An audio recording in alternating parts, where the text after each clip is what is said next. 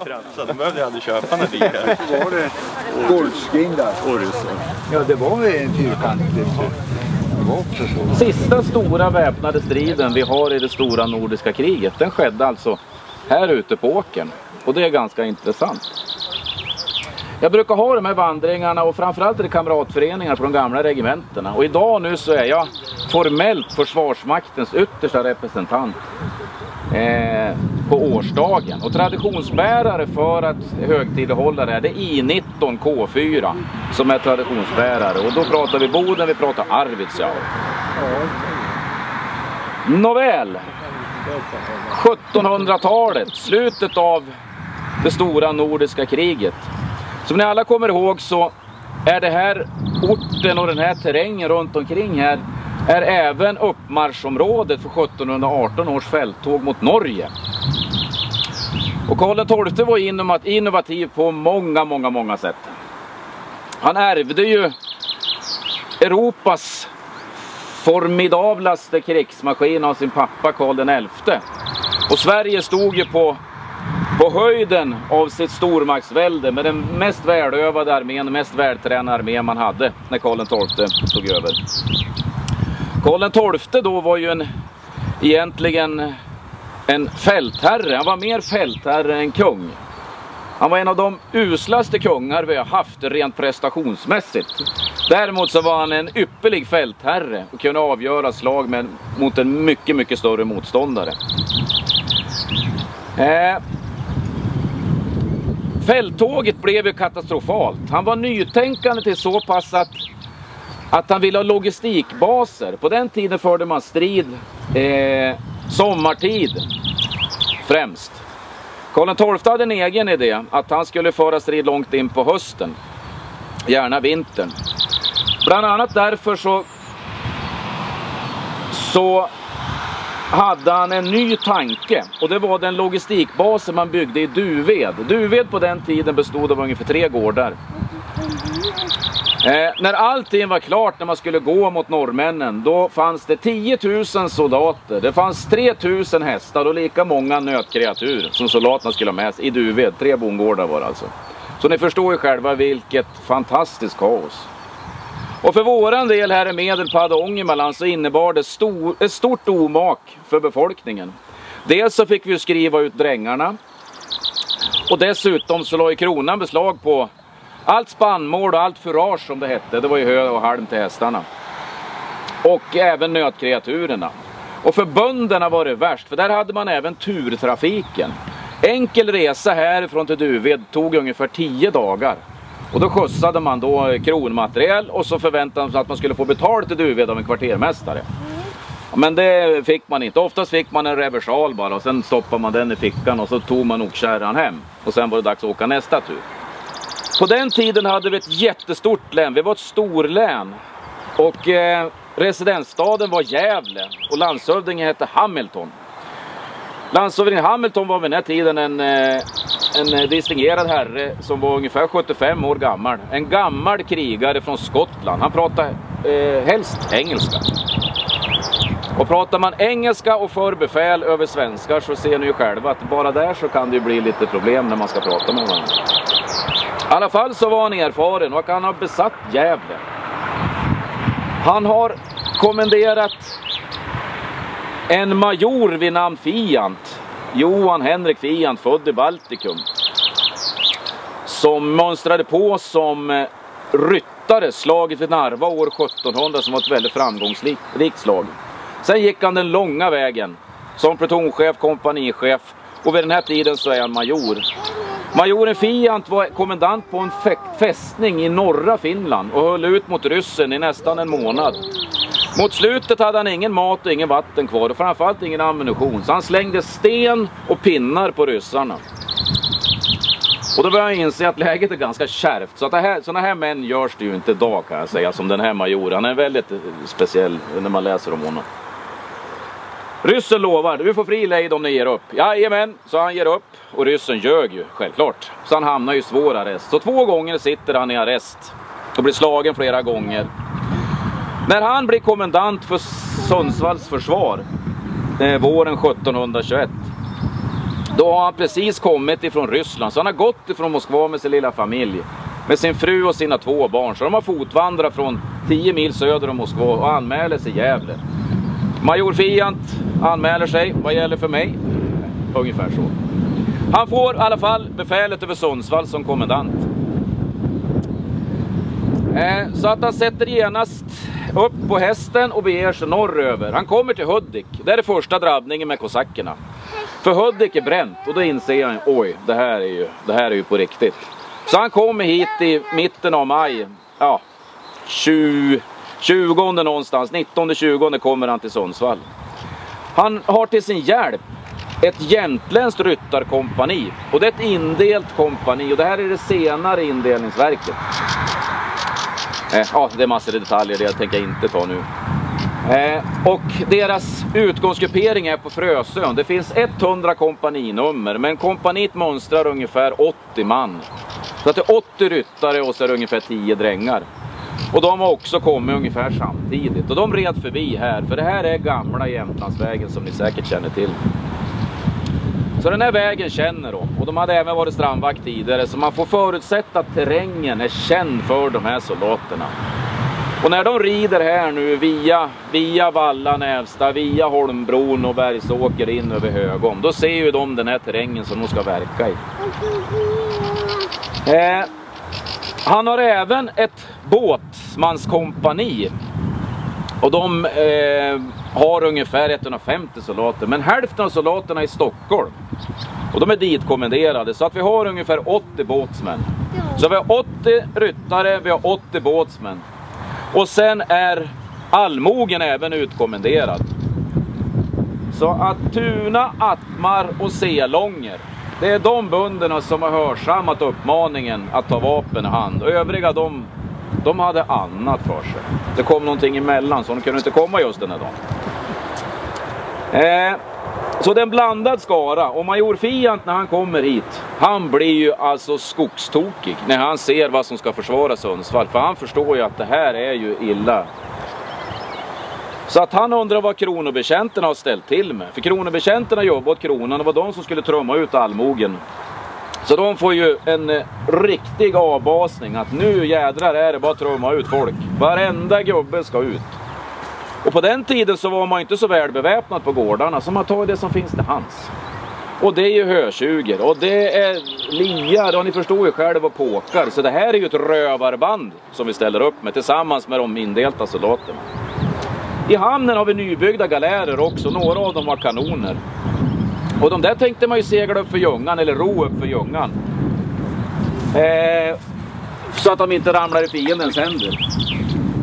Tyvärr nu så kommer fienden ganska snabbt upp på oss. Så man hinner inte med.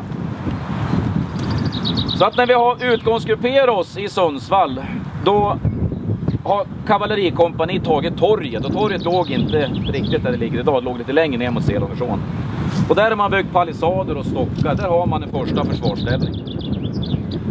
Man har även byggt ut en huvudstridsställning och den finns vid Mittuniversitetet, precis där vid Västra Stadsbron, den heter Videsbron idag. Och där har man byggt spanska ryttare bland annat. Selångersån ska vi också komma ihåg, den benämner man som älv på den tiden. Och landhöjningen har ju gjort att den är väldigt mycket smalare ändå, så vi får förutsätta att den är mycket, mycket djupare och mycket, mycket bredare. Så man benämner den som älv. Så det är de två stridsställningarna som man har förberett med fördröjande åtgärder.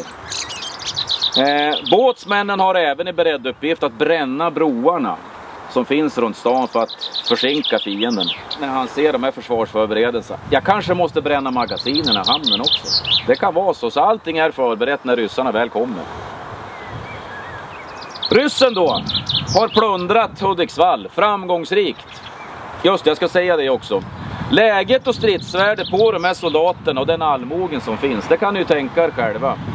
Man är satt att försvara mot en fiende som man inte vet hur stor den är. Man vet bara att de har varit, varit och bränt flera, flera städer åren innan. Så man är nog lite skraj skulle jag kunna tänka mig. Eh, och för en soldat i Karolinska armén så ingick det inte i uppgiften att vara rädd. Det måste vi också komma ihåg. Jag kommer återkomma till den kontexten som man jobbade i. Eh, men ryssen då har ju varit framgångsrik. Båtarna fulla med byten. Man har haft en eh, strandparty kvällen innan. Precis innanför Jättholmarna går man in i en krigsförtöjningsplats. Man slaktar några oxar.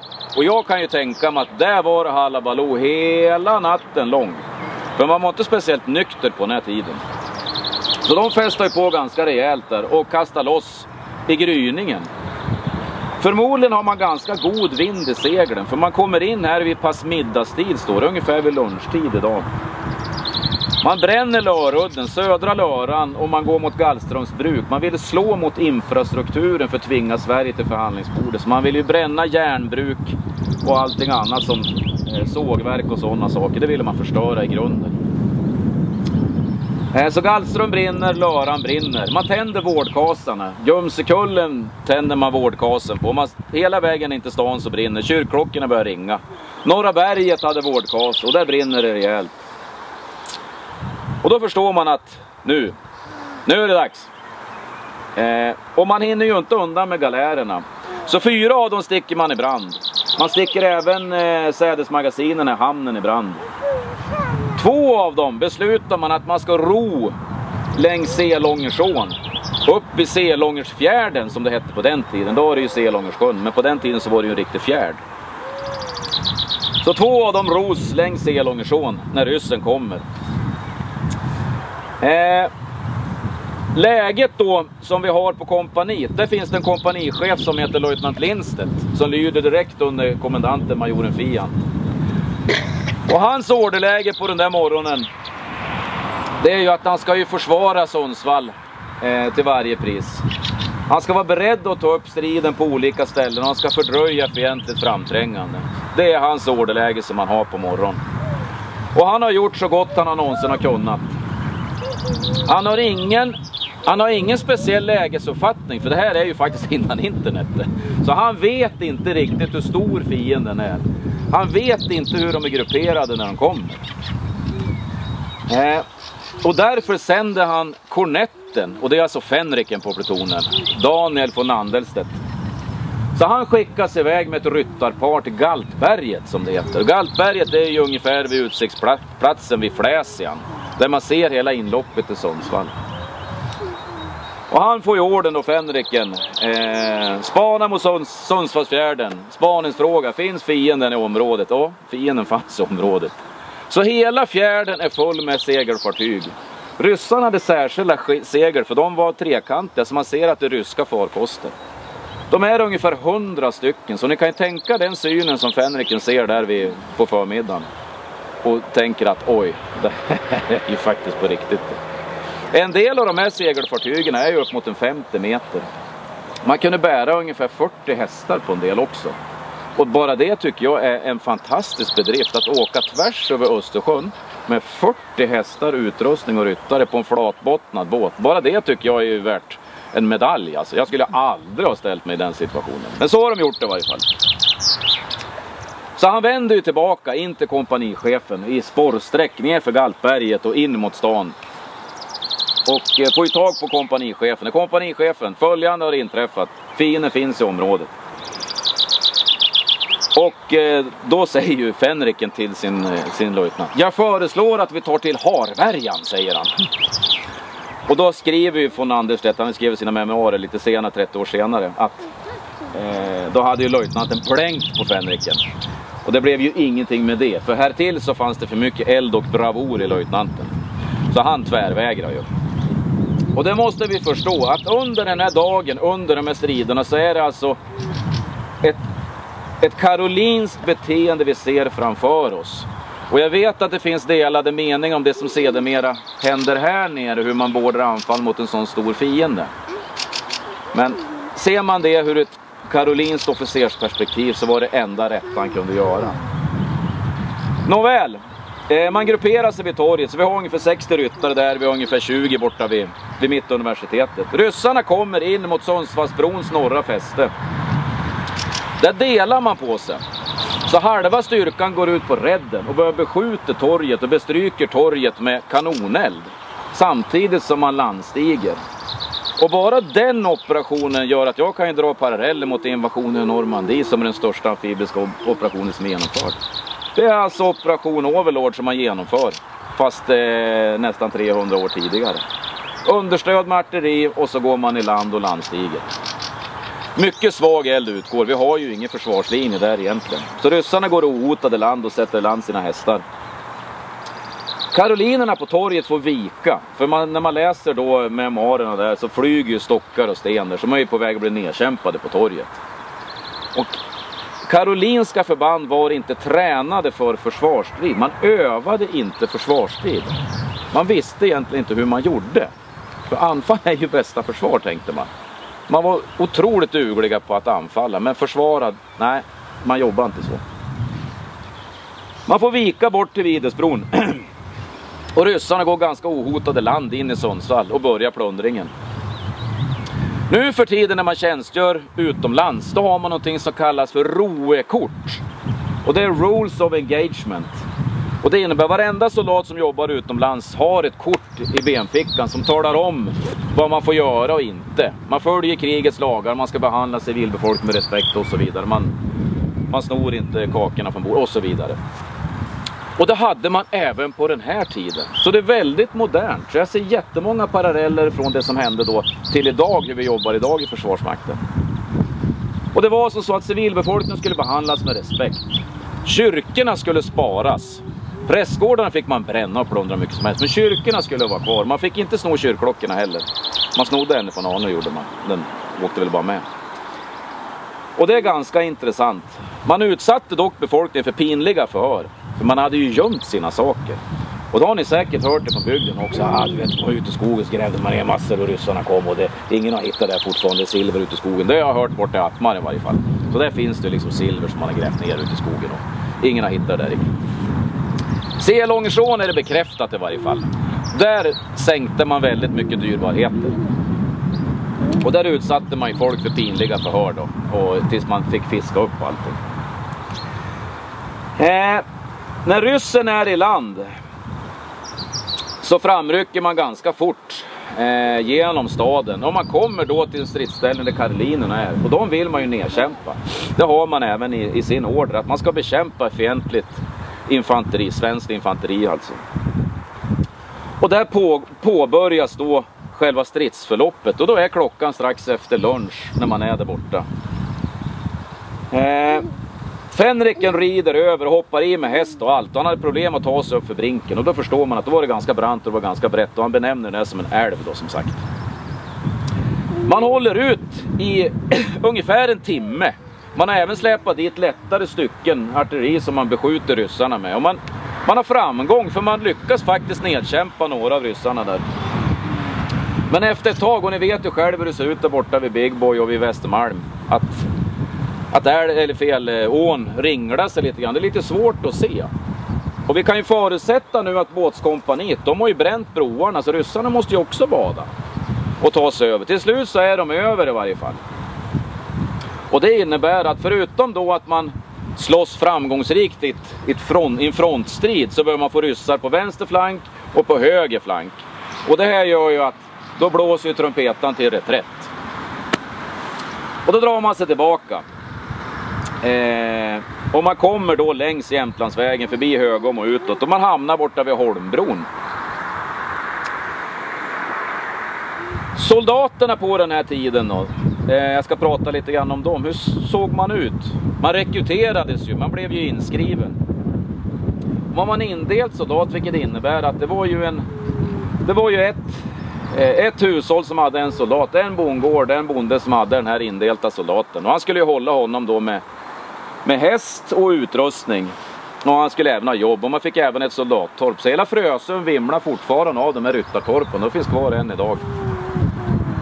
Sen fanns det även tremänningssoldater och då var det ju tre stycken bönder som höll den soldaten. Och det fanns fyrmänningar också. Det var ju lite ont om manfolk efter ett tag. Krig hade ju den förmågan på den tiden att det blev väldigt ont om, om, om unga manliga. Eh, och soldaten skulle vara pigg och rask i både tanke och handling och skulle kunna svara för sig. Han skulle även vara gudsfruktig. Det var väldigt viktigt. Eh, så de soldaterna skulle man ha. Eh, en officer på den här tiden tränade inte alltså försvarsstrid. Man tränade anfallsstrid.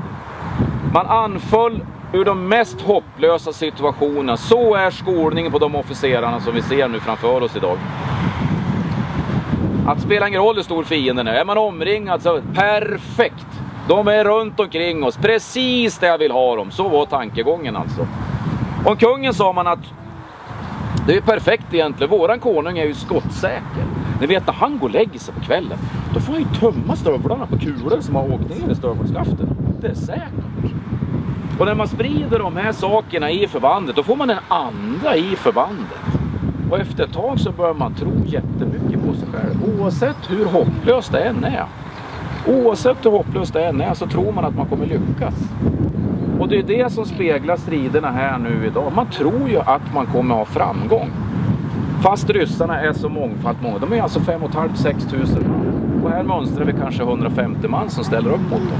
Men man tror ändå man kommer ha framgång. För man är så lärd och man är så inne i det här. Eh, signifikativt för ett karolinskt anfallsförband också, när man rider, det är att man har hästar självklart. självklart. Eh, hästarna då, på den tiden så mätte man höjden på en häst bakom sadeln. Så det var inte mankhöjd. Nio kvarter och två tum, det motsvarar ungefär 144-148 centimeter. Och det är som en stor ponny. Så en karolinsk häst var extremt ful. Den var kortbent och den var kraftig. Men den hade ett lynne som var alldeles utmärkt för användare som ett stridsfordon. Hästen började tränas vid ungefär tre års ålder och man räknar med att den, den levde fram till den var 20. Då fick den gå i pension. Ofta så blev hästen skjuten under, under sin ryttare. Eh, man hade tillvänjningsövningar med hästarna när man ledde dem i paddocken. Så sköt man artilleri och man satt på dem och så sköt man eh, musköter. Så att hästarna tränades ungefär som dagens polishästar. Ja, det var vallacken man använde. Storna och hingstarna de var hemma och gick på avel. Och det var svenska hästar. Självklart så fick man ju handla nya hästar ner i Europa när man fick ont om hästar. En Karolins äsk skulle vara mörk till färgen. Brun, svart eller grå. De enda som hade vita hästar, det var trumpetarna. Och trumpetarna hade den viktigaste funktionen på slagfältet. På den tiden sköt man ju svartkrut också, så slagfältet det var ju liksom en stor gråsvart dimma som låg när man sköt. Och ibland så red man ju till, till fel förband, då red man ju till fienden. För alla var ju mer eller mindre ljusgrå eller mörkgrå. Men hästen, den som var vit, då visste man, där var trumpeten, där samlades man alltid. Och han blåste ju alltid ut orden ifrån kompanichefen eller plutonchefen. Eh, det var lite grann om hästarna. Eh, Nåväl, jag tror vi hade hamnat borta på Holmbron. Och där är ju också ett perfekt försvarsställe att ta upp striden. För då ligger ju Selångerfjärden alldeles intill så det är svårt att ta sig över där. Eh, där utmärker sig majoren Fiant särskilt mycket. Han får ju några blessyrer där men det fäktas han särskilt framgångsrikt. Om man håller ut ungefär en timme även där så fördröjningsstriden är ganska bra faktiskt. Man är ganska framgångsrik och det stupar ryssar, det stupar svenskar också. Och det försvinner båtsmän till skogen. Så att min uppfattning är att där borta vid Holmbron, där är man ju inte det fulla kompaniet om 80 stycken. Så där börjar man bli färre och färre.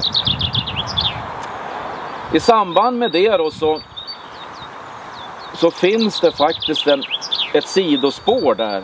Att i början av 1900-talet, 1923 eller någonting sånt, då är, eh, då är det två småpojkar som ska ner och meta i ån. Ungefär vid Silje. Och så går man ner där och så är det en hölja alldeles nedanför. Så man ska in och så ska man gå runt och så går man bakom någon sly.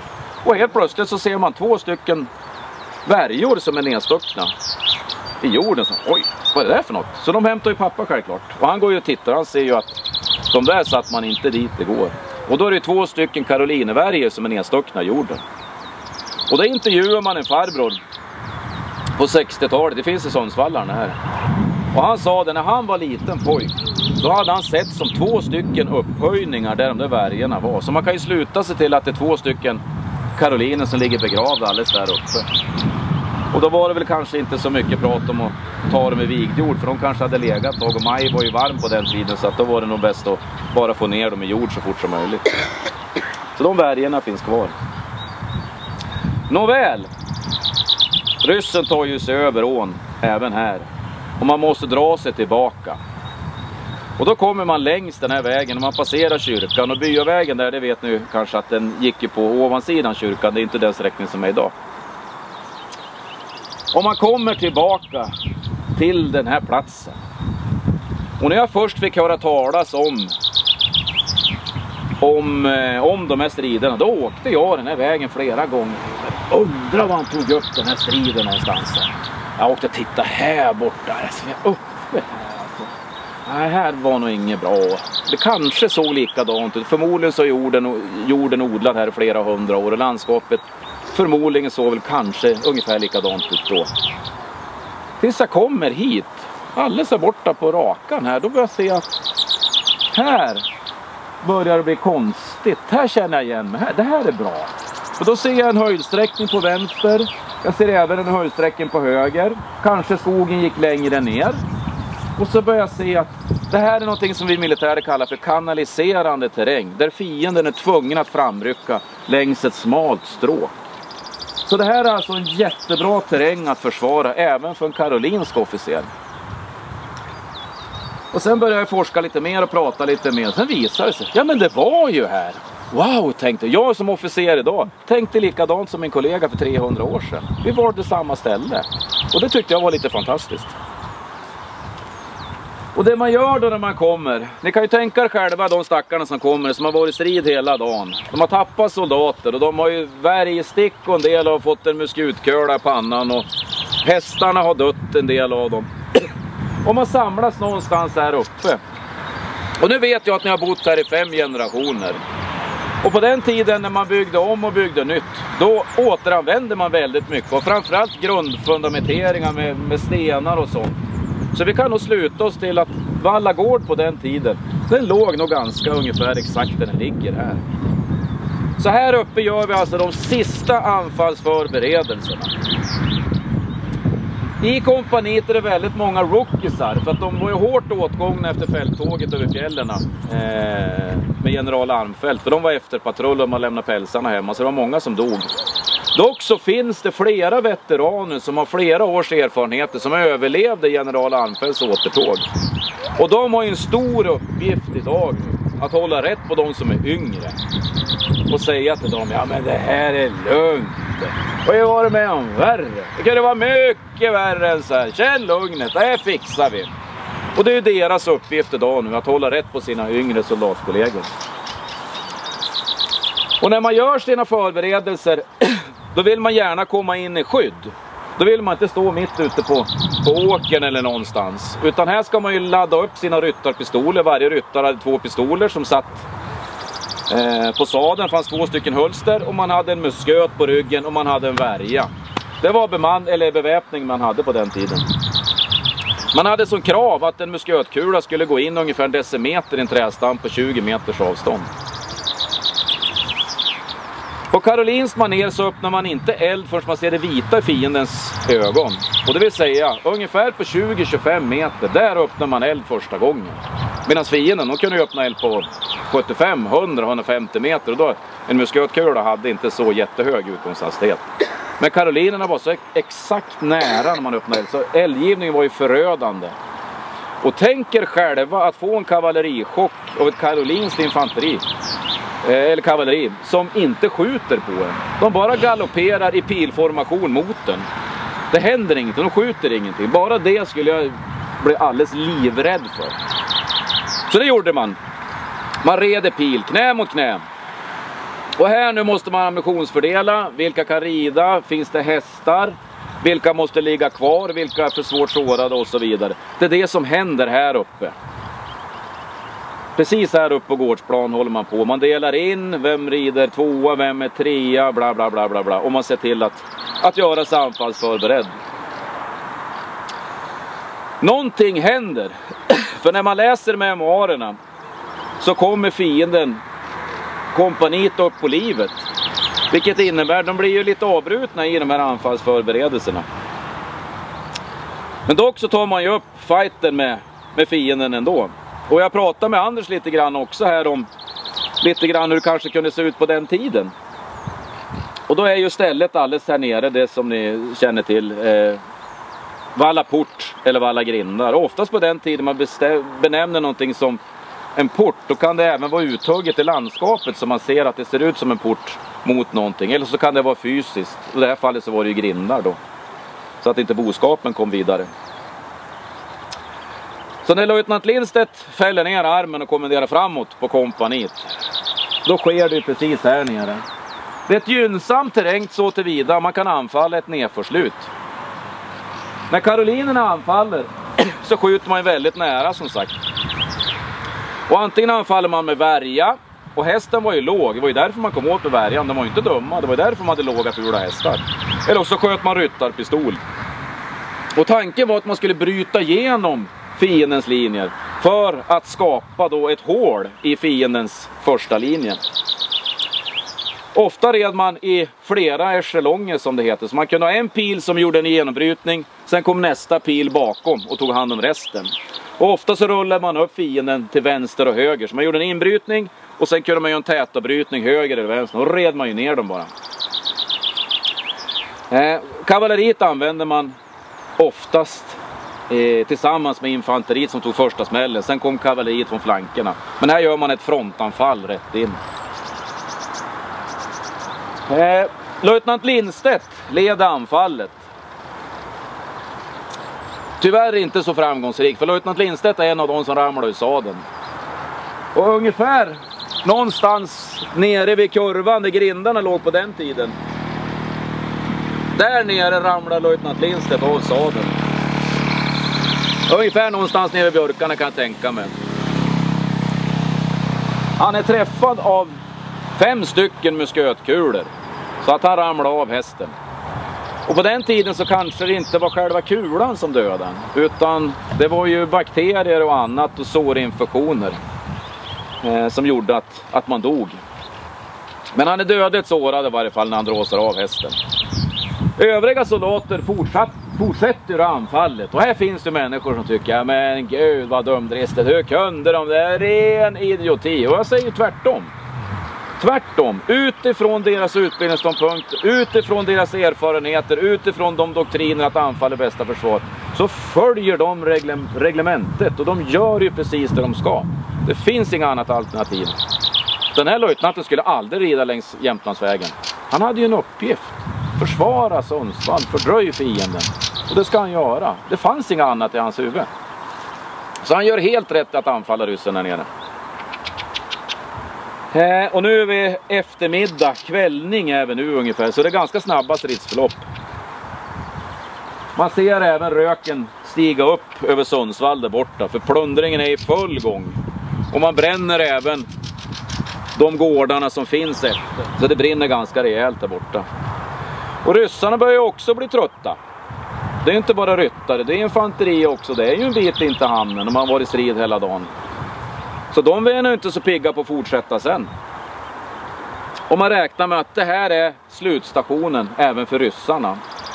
Eh, det finns en uppgift om att man har bränt en stuga längre bort. Eh, en skogvaktarstuga som finns en fem kilometer i den riktningen. Men det vet inte jag om det är sant. Ute på ängen här nu efter den här dagen så ligger då de här 22 ryttarna. Det är 22 stycken som, som stupar precis här ute, ute på ängen och de ligger kvar här. Ryssarna plockar ihop sina döda och tar med dem. De tar även fångar. Så man tar ett tiotal soldater som man tar med sig. Man tar även med löjtnant Lindstedt som ligger sårad. Eh, Major Fiant, var har han varit någonstans i de här striderna? Han är ju med och leder det här. Och han kan ju inte hålla sig borta från det här. Och han fäktas framgångsrikt. Och han är också blesserad. Det som händer här, för han vet ju hur det är att vara rysk fångenskap. Där har han ju tillbringat flera år faktiskt. Och det vill inte han. Han är inte alls sugen på att hamna söder om Moskva igen.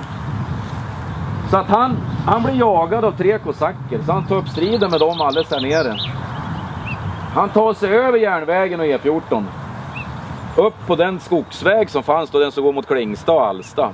Där sätter de här tre kosackerna efter major Fiant. Och rider kapp honom uppe längs, uppe på åsen.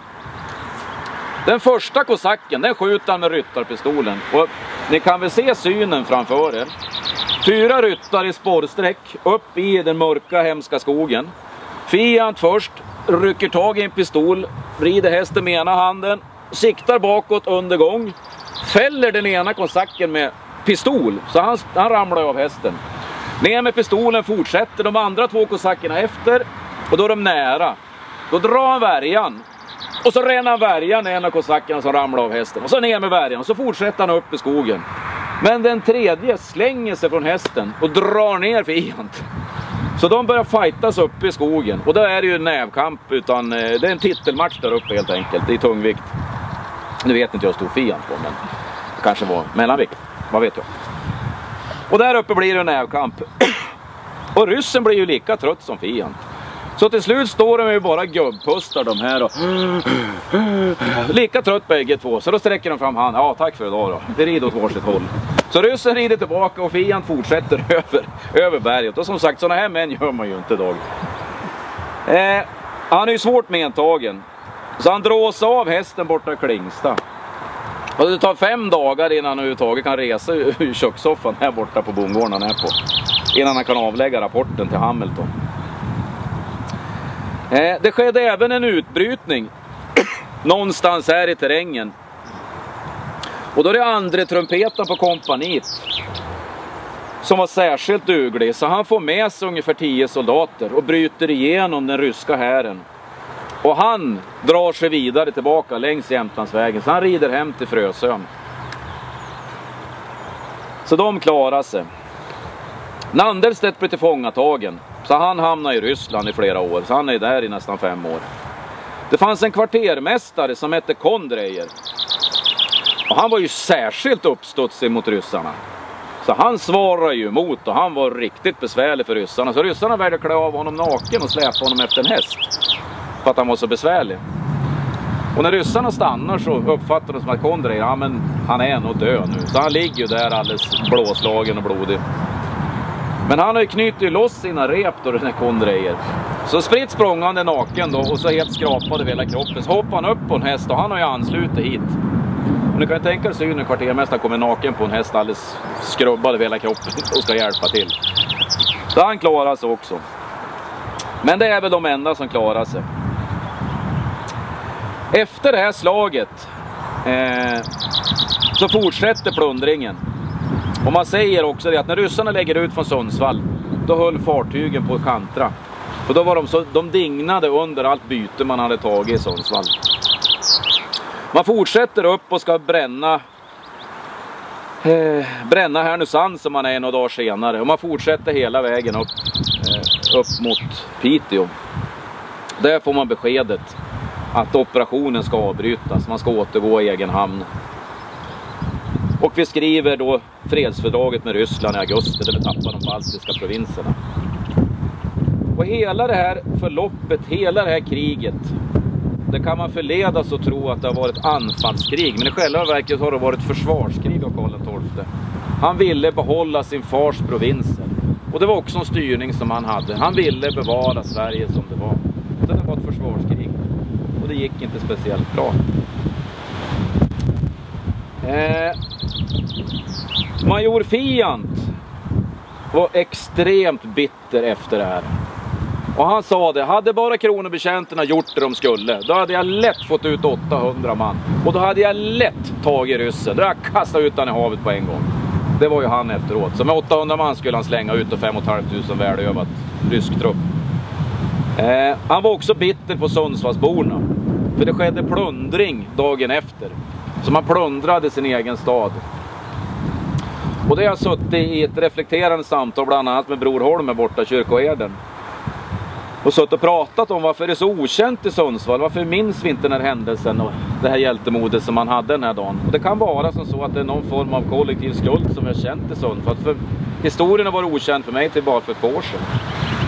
Att vi inte ställde upp för vår egen hembygd. Det kan vara så. Eh, sen bygger man upp stan igen och staden blomstrar vidare och sen kommer ju här hela träepoken. Men den kommer jag inte berätta om nu. Utan den känner ni säkert till lika väl som jag. Så marken som vi står på idag det är klassisk karolinsk mark. Så var den märkvärdiga historien. Är det någon som har några frågor om den lilla historien? Jag kan stå och berätta hur länge som helst. Jag tycker det är fantastiskt. Vet du var karolinerna, var de begravda någonstans? Ja, det vet jag. Eh, eller det finns en teori. Ja. Och det är nere vid muren. De ligger inte vid minnesmärket utan de ligger lite mer neråt höger så att säga. Där nere pratar man att de finns. Så man kan ju föreställa sig. Det var också en diskussion jag hade med kyrkoherden. Vem var det som begravde dem då? Här brände man ju gårdarna runt omkring och plundrade dem. Så man kan ju förutsätta att de här stackarna låg ju kvar här. De låg kvar kanske en dag, kanske två, de kanske låg fyra, fem dagar och då är det ingen rolig syn som finns här ute. Och på den tiden hade man ju inga dog tags så man visste ju inte vilka soldaterna var om man inte kände dem personligt. För de var lite svåra att känna igen. Och det är därför de ligger i massgraven. Det finns dock en förteckning inne på prästgården över de stupade soldaterna. Och där ser man att flera av dem var veteraner från, från Armfeldts fälttåg. Eh, så de ligger där borta. Och så är det de här två då, som ligger uppåt Silje. Det vet man. Löjtnant Lindstedt då som är dödligt sårad, han dör ju ute på Östersjön.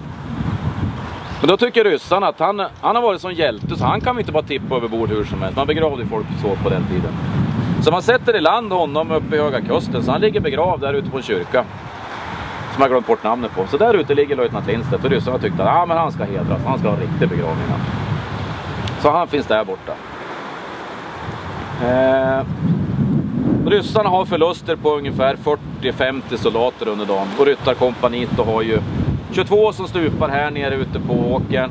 Det är 15 stycken till som dör av sina skador närmaste vecka efter. Och som sagt infektioner var ju det som ofta stod soldaternas liv. Inte just att man fick skärsår, men allting som kom in.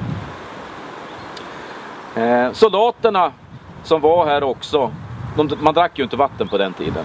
Då drack man ju mjöd och starköl. Och man sopade i sig ungefär 3,5 liter per dag. Så då kan ni tänka er själva, 3,5 liter som måltidsdryck och så kanske fanns det snaps med också. Man, man var inte helt nykter kan jag säga. Eh, det finns också en anekdot från slaget vid Narva år 1700. De blev fördröjda för de skulle anfalla den vänstra flanken i ryssarnas, ryssarnas vänstra flank. Men då hade man ramlat in i ett proviantförråd där det fanns massor av vodka. Så Sven, åh, va? Kolla här är ju brännvin! Och då blev det ju fest. Så soldaterna valde ju att bli, bli liksom klappfulla där mitt under brinnande pågående slag. Så den vänstra flanken, det, det blev kvar ett tag. Så de var bara flera timmar för att det, det blev party då. Och då kan man också sluta sig till att officerarna drack ju också sprit på den här tiden. Gärna mitt under pågående tjänst, det var ju ingen fara. Och ibland så kanske det blev lite klantiga beslut då, beroende på att man, man var lite grann på fyllan. Men det var inte svårare än så, man var ju lite grann på fyllan hela tiden på den tiden. Eh, så var det med det. Du, Ja, finns det något belägg för hur långt man kom västeröver? Det är väldigt lite skrivet om det. nej, nej, Finns det finns, skrönor? det finns alldeles... Eh, vi ska se vad det där heter. Den vägen vid Berg. Står man, kommer man E14 och så har man vägen som går in vid bergen ner mot Rundsvik. Tittar man rätt längs fältet då, precis i skogskanten där borta fanns det en skogvaktarstuga. Och där har man pratat om att man brände dit bort. Sen vet jag även att i Nedansjö har man pratat om att ryssen var också. Där finns det också uppgifter som att ryssen var dit bort. När man pratar med Bror, som är väldigt eh, historiskt beläst och väldigt Finlandsintresserad, då pratar han alltid om att, att ryssen är rädd för skogen.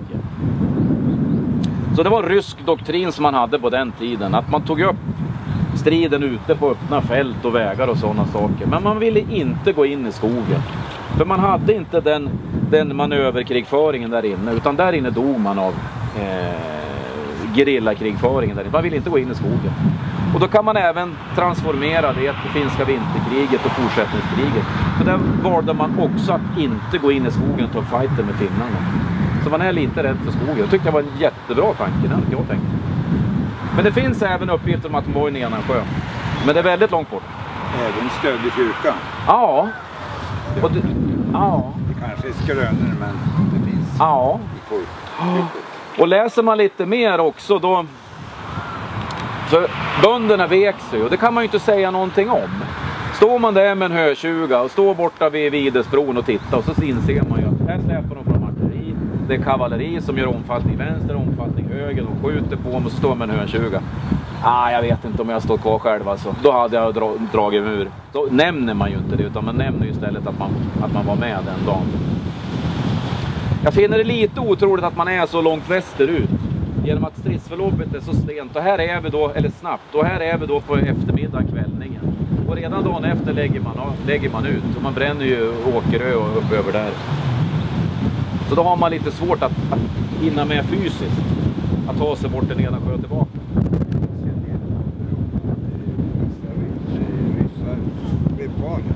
Ja, Både i Alkmaar finns det och även... ja, ja.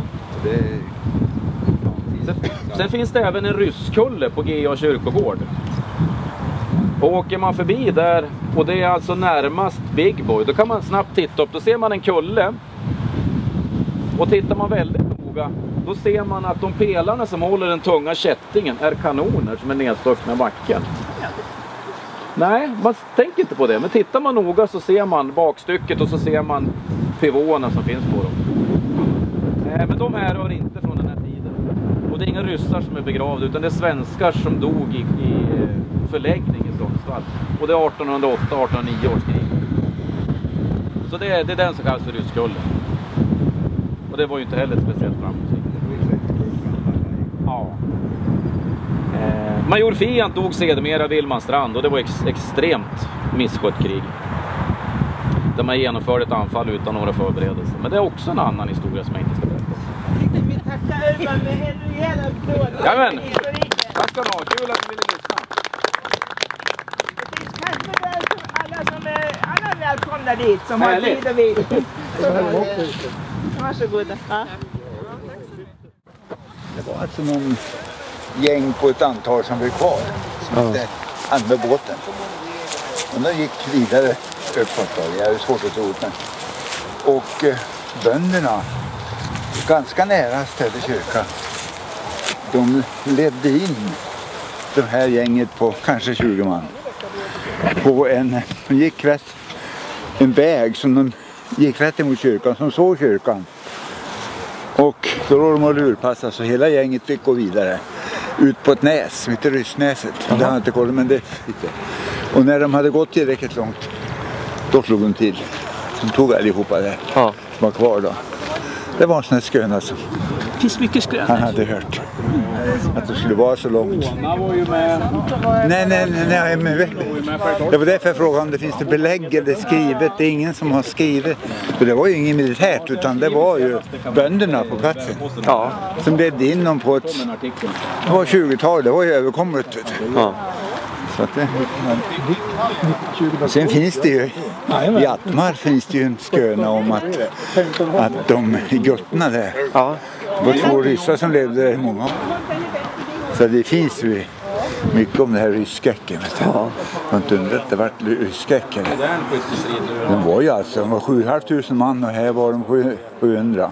Så det var tio gånger så mycket folk som de som skulle försvara. Ja. Och det finns ju i Nyköping, i och med att jag bodde där. Ja. De hade 5000 ryssar i fem år som de fick försörja. De tog stan. Det det är ganska stora gårdar runt om. De delade ut dem. De fick försörja dem i fem gäng. De hade ju ganska dåligt. Det var ju plundringståg. Ja. Så att det finns, det var kanske fler ställen. Men det var vissa som var starka då. Gävle de klarade ju, de hade ju borgar, de har mur och grejer så de klarade sig. Det tog de aldrig.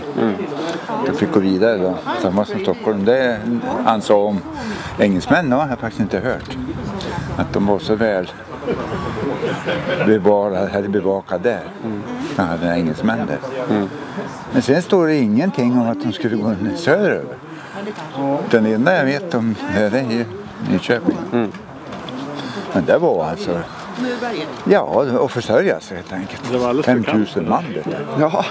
Det var eh, Det är mycket mat. det- Tänk dig det när de hade fälttågen. Det är ju inte klokt alltså, som man nämnde. De måste ha mat, vet du. Och äta. 21 år Det sedan var ju idag. väldigt konstigt egentligen att de kunde klara av det. De hade ju djuren levande hela tiden och ja, sakta på dagen då vet du. Precis Det den dagen. Ja, det var inte så här. Och varje gård tog de hela vägen. Men eh, vad jag förstår så de gick aldrig över Ljungan. Inte det. De brände ingenting i Hjalmar. Ja, Nej, det- vi hade inte Brände var över. Men, men det verkar ju mer realistiskt att de kom kanske till Dälje eller till Berg.